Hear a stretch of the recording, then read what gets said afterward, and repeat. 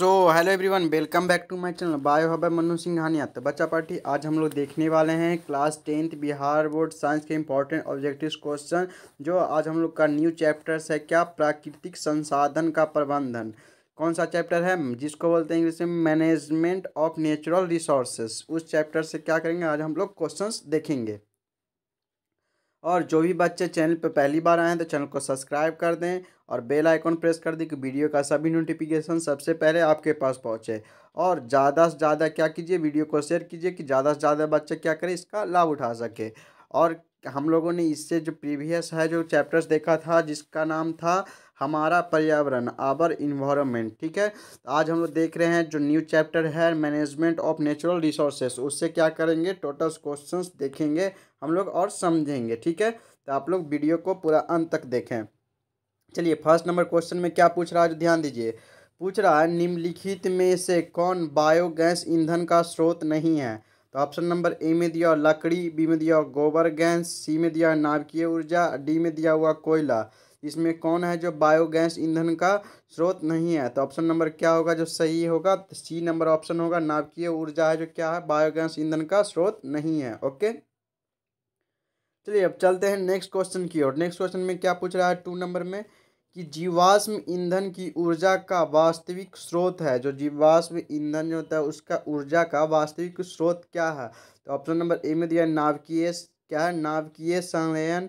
B में दिया चंद्रमा। सी में दिया सूर्य। डी में दिया इनमें से कोई नहीं। तो इसका जो राइट आंसर क्या है, इसमें से कोई नहीं होगा, जो क्या है? ऑप्शन डी नंबर होगा, जो सही है। ठीक है? चलिए, अब आगे बढ़ते हैं नेक्स्ट नंबर क्वेश्चन की ओर। Three number question three number question में क्या पूछ रहा है, जो ध्यान दीजिए। पूछ रहा है, गर्म जल प्राप्त करने के लिए हम सौर जल उष्मा का उपयोग किस दिन नहीं कर सकते हैं? तो ऑप्शन नंबर ए में दिया धूप वाला दिन में बी में दिया बादलों वाला दिन में सी में दिया गर्म दिन में डी में दिया पवनों वाला दिन में। तो थ्री का जो राइट आंसर क्या होगा, किस दिन में? तो बादलों वाला दिन में है, जो होता है। ऑप्शन नंबर क्या है? बी होगा, जो क्या होगा हमारा राइट आंसर होगा ओके चलिए अब आगे बढ़ते हैं, देखते हैं four number question four number question में क्या पूछ रहा है, जो ध्यान दीजिए।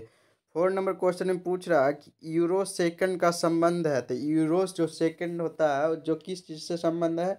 तो ऑप्शन नंबर ए में दिया हुआ, वायु प्रदूषण से बी में दिया हुआ, जल प्रदूषण से सी में दिया मृदा प्रदूषण से डी में इनमें से कोई नहीं।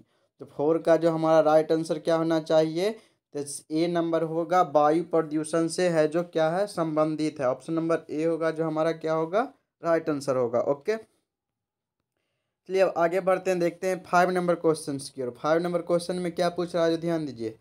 पूछ रहा है कि वन संपदा का एक उदाहरण, जो वन संपदा है उसका एक उदाहरण है तो इसमें से कौन होगा? तो ऑप्शन नंबर ए में दिया हुआ मिट्टी बी में दिया लकड़ी सी में दिया तांबा डी में दिया एल्यूमिनियम तो फाइव का जो हमारा राइट आंसर क्या होगा?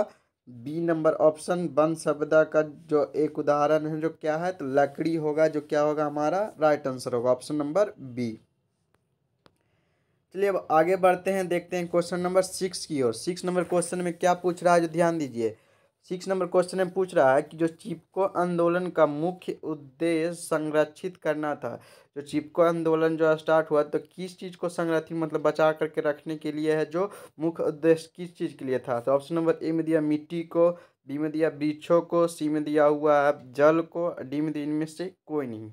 इसका जो सिक्स का राइट आंसर होगा, जो क्या होगा? बी ट्री को, पेड़ को, क्या है, वृक्ष को है, जो बचाने के लिए, संरक्षित करने के लिए सुरक्षित रखने के लिए है, जो मुख्य उद्देश्य था, बचा करके, ठीक है? तो ऑप्शन नंबर बी होगा, जो क्या होगा हमारा? राइट आंसर होगा ओके चलिए, अब आगे बढ़ते हैं, देखते हैं सेवन नंबर क्वेश्चन की ओर। सेवन नंबर क्वेश्चन में क्या पूछ रहा है, जो ध्यान दीजिए। पूछ रहा है कि ऊर्जा का पारंपरिक स्रोत है, ऊर्जा का पारंपरिक स्रोत है, क्या है? तो ऑप्शन नंबर ए में दिया बायोगैस ऊर्जा का जो क्या पारंपरिक जो स्रोत है, क्या है? बायोगैस बी में दिया सौर ऊर्जा सी में दिया पवन ऊर्जा और डी में दिया होगा कोयला। डी सेवन का जो राइट आंसर क्या होगा? तो डी नंबर कोयला होगा, जो क्या होगा? ऑप्शन नंबर डी होगा, जो हमारा राइट आंसर होगा ओके चलिए एट नंबर क्वेश्चन की ओर ध्यान दीजिए। एट नंबर क्वेश्चन में क्या पूछ रहा है? निम्न में से कौन प्राकृतिक संसाधन नहीं है? इसमें से कौन है जो क्या है? प्राकृतिक संसाधन नहीं है। तो ऑप्शन नंबर ए में दिया वायु बी में दिया जल, सी में दिया मृदा, डी में दिया जीवधारी। तो एट नंबर का कौन सा ऑप्शन सही होगा? तो मृदा होगा जो क्या होगा? प्राकृतिक संसाधन नहीं है। ऑप्शन नंबर इसका जो एट का होगा जो क्या होगा? सी नंबर ऑप्शन होगा जो सही क्या होगा? Right answer, okay? चलिए, अब नाइन नंबर क्वेश्चन की ओर बढ़िए। नाइन नंबर क्वेश्चन में क्या पूछ रहा है? कि टिहरी बाँध का निर्माण किस प्रदेश में किया गया? जो टिहरी बाँध था, उसका जो बाँध का जो निर्माण किस प्रदेश में किया गया तो ऑप्शन नंबर ए में दिया हुआ क्या? उत्तर प्रदेश, बी में दिया उत्तराखंड, सी में दिया राजस्थान, डी में दिया हुआ मध्य प्रदेश। तो नाइन का जो राइट आंसर क्या होगा? तो बी नंबर कहाँ किया गया था? उत्तराखंड। ऑप्शन नंबर बी होगा, जो क्या होगा? इसका राइट आंसर होगा ओके चलिए अब आगे बढ़ते हैं, देखते हैं टेन नंबर क्वेश्चन की ओर। क्या दस नंबर क्वेश्चन में क्या पूछ रहा है? ध्यान दीजिए। वन संरक्षण का उपाय है। तो वन संरक्षण, जो वन को संरक्षण करके रखने का जो उपाय है, क्या है? तो ऑप्शन नंबर ए में दिया नए वृक्षारोपण द्वारा, बी में दिया वनों का कटाई पर रोक, सी में दिया हुआ जनसंख्या वृद्धि पर रोक, डी में दिया इनमें से सभी। तो दस का जो राइट आंसर क्या होगा? तो डी नंबर इसमें से सभी। ऑप्शन नंबर डी होगा जो हमारा क्या होगा? राइट आंसर होगा। ओके? चलिए। अब आगे बढ़ते हैं। ग्यारह नंबर क्वेश्चन पे ध्यान दीजिए। क्या इलेवन नंबर क्वेश्चन इसमें पूछ रहा है कि सी एफ़ सी का पूरा नाम बताइए। तो सी एफ़ सी का पूरा नाम क्या है? तो ऑप्शन नंबर ए में दिया है क्लोरो क्या है?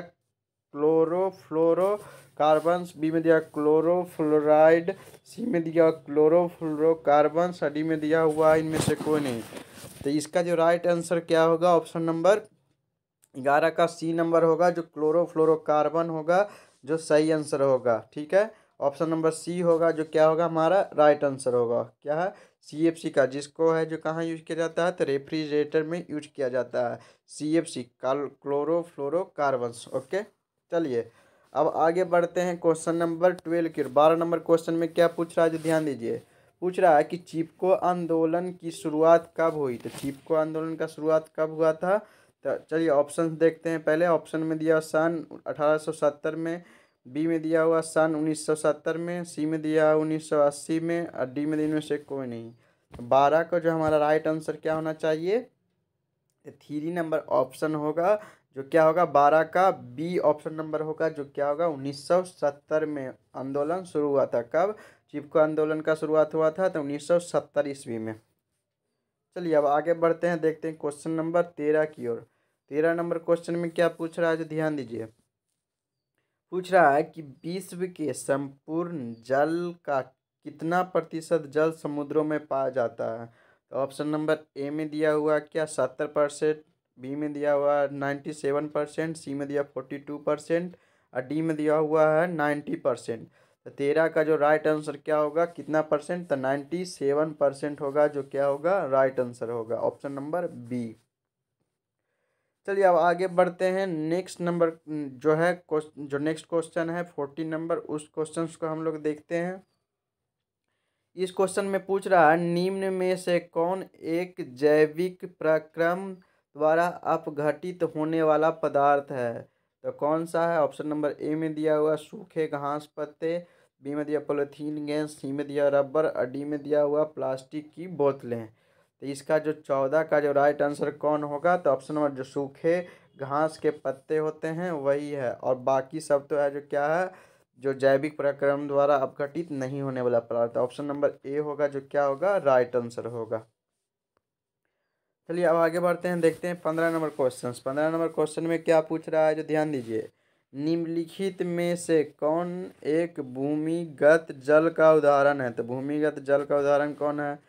ऑप्शन नंबर ए में दिया नदी बी में दिया कुआँ सी में दिया तालाब और डी में दिया समुद्र। तो पंद्रह का जो राइट आंसर क्या होगा? ऑप्शन नंबर बी कुआँ होगा, जो हमारा क्या होगा? राइट आंसर होगा। भूमिगत जल का उदाहरण क्या है? कुआँ है, ठीक है?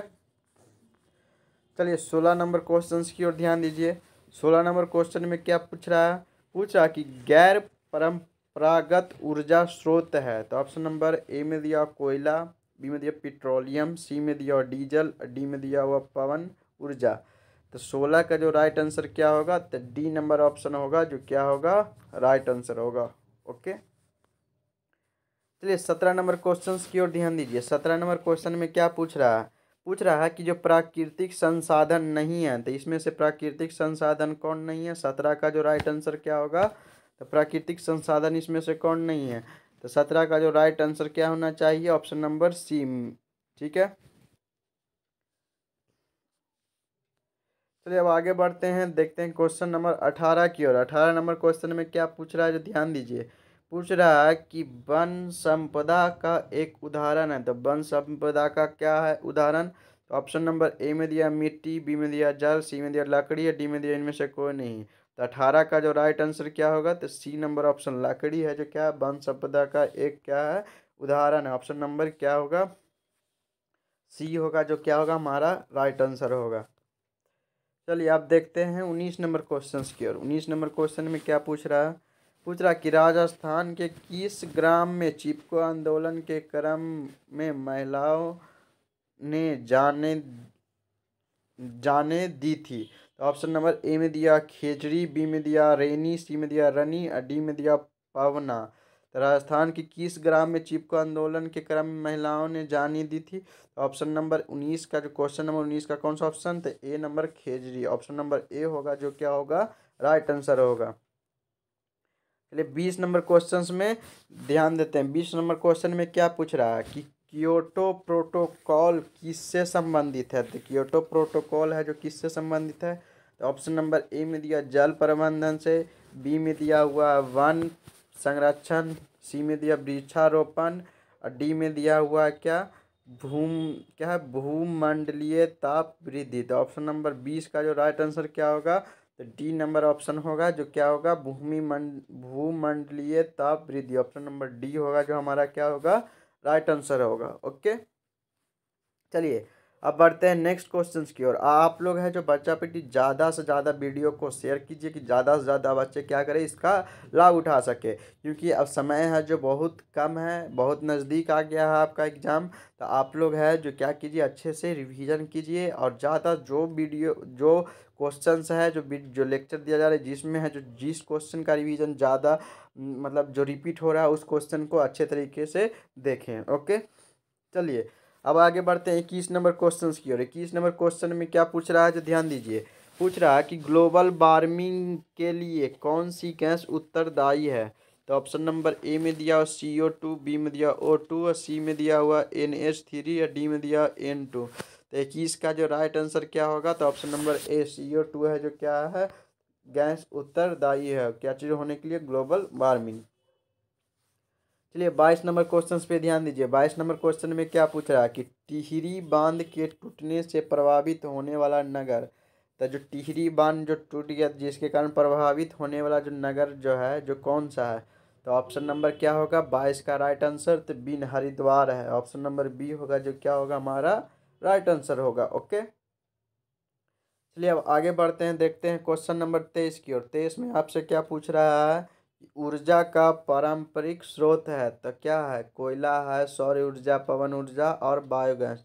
तो ऑप्शन नंबर क्या होगा? सही आंसर तेईस का। तो ए नंबर होगा, जो क्या होगा? हमारा राइट आंसर होगा, ओके? चलिए चौबीस नंबर क्वेश्चन की ओर ध्यान दीजिए। चौबीस नंबर क्वेश्चन में क्या पूछ रहा है कि वन प्राणियों के विलुप्त होने का मुख्य कारण है? तो वन प्राणियों का विलुप्त होने का मुख्य कारण क्या है? तो ऑप्शन नंबर ए में दिया हुआ जल की कमी। बी में दिया बांधों का निर्माण सी में दिया नवीनीकरण, और डी में दिया वायु प्रदूषण। तो चौबीस का जो राइट आंसर क्या होगा? सी नंबर ऑप्शन होगा नवनी नीवनीकरण। ऑप्शन नंबर सी होगा जो क्या होगा? राइट आंसर होगा। चलिए अब आगे बढ़ते हैं, देखते हैं पच्चीस नंबर क्वेश्चन की और पच्चीस नंबर क्वेश्चन में क्या पूछ रहा है? जो ध्यान दीजिए कि टिहरी बाँध का निर्माण किस प्रदेश में हुआ मतलब किया गया था? इसका हम लोगों ने क्वेश्चन देखा था ऊपर तो ऑप्शन नंबर बी है जो हमने लगाया था उत्तराखंड में ऑप्शन नंबर बी ठीक है? तो हम लोगों ने इस चैप्टर से ट्वेंटी फाइव क्वेश्चन देखा, और इस चैप्टर से टोटल इतना ही क्वेश्चन आपको दिए गए हैं, लगभग क्वेश्चन इसी से मिलता जुलता रहेगा। अब हम लोग क्या करेंगे, आपका है जो सारा ख़त्म हुआ ऑब्जेक्टिव्स का, सारा चैप्टर्स ये आपको फिजिक्स केमिस्ट्री और क्या है बायोलॉजी से रिलेटेड ठीक है? भौतिकी सा, भौतिक और क्या रासायनिक और जीव विज्ञान से सारा से है जो समाप्त हुआ। अब हम लोग क्या देखेंगे? ऑब्जेक्टिव खत्म होने के बाद अब सब्जेक्ट भी क्वेश्चन देखेंगे।